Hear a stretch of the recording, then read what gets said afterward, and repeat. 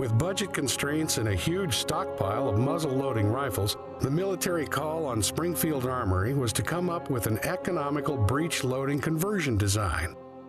Master Armorer E.S. Allin designed a simple hinged breech block conversion mechanism, and the first trapdoor rifle converted from a Civil War muzzleloader came off the line in 1865.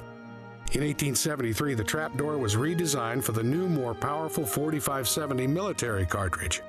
And along with the full stocked 32 inch barreled rifle, a half stocked short barreled carbine was produced for the U.S. Cavalry. One of the first cavalry troops to be issued the new trapdoor carbine was the 7th Cavalry, under the command of the flamboyant Civil War hero George Armstrong Custer. It was with their new 1873 Colt single action revolvers and their new trapdoor carbines that the 7th Cavalry rode off to the Little Bighorn and into the pages of history.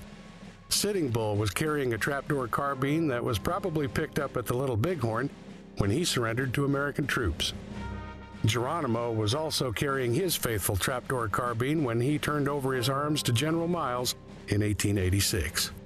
The trapdoor rifle and trapdoor carbine by Uberti are faithful replicas of two of America's most historic rifles.